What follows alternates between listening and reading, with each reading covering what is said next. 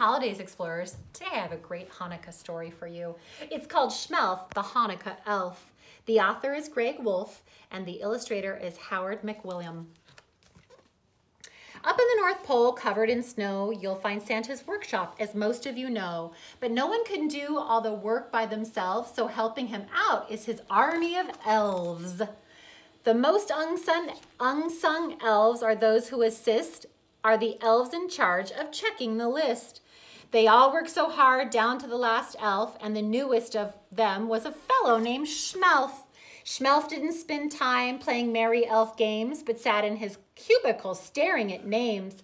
His job was to check through Santa's list twice to see whether kids had been naughty or nice. Shmelf loved what he did, but as Christmas drew near, he looked at his list and cried out, oh dear. He found many children who had been quite good, but would not receive presents, though it seemed that they should. He ran like a flash to see the head elf, who smiled and said, Now, now, calm yourself, Shmelf. Of course, you don't know since you're still quite newish, but the kids on this list are actually Jewish. They don't celebrate Christmas, but that's fine, you'll see. They celebrate Hanukkah, their own Jubilee. I, it won't be dear Santa who brings them a gift, but their mommies and daddies. Do you get my drift? Shmelf returned to his desk with his mind quite shaken. Kids with no Christmas, he must be mistaken. So later that night, careful not to be missed, he snuck off to visit a house on his list. Shmelf peered in and wondered, could this be right? There wasn't a tree or a stocking in sight. Instead, he saw menorahs with candles so thin, and children were giving their dreidels a spin. There was Gelt chocolate coins wrapped up in gold foil and latkes for frying in pans filled with oil. Then Shmelf saw that there were presents, one for each night. His elfish eyes gleamed as he squealed with delight. Shmelf listened as mom told the Hanukkah story of the Maccabees' battle for Israel's glory.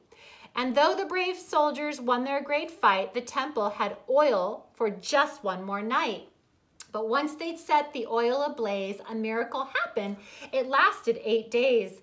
Hey, now I get it, Shmelf said with a grin. Hanukkah's awesome. I'm totally in.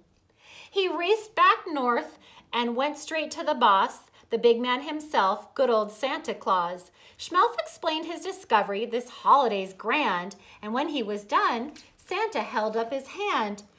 Shmelf, chuckled Santa. It fills me with joy to see how you care for Jewish girls and boys.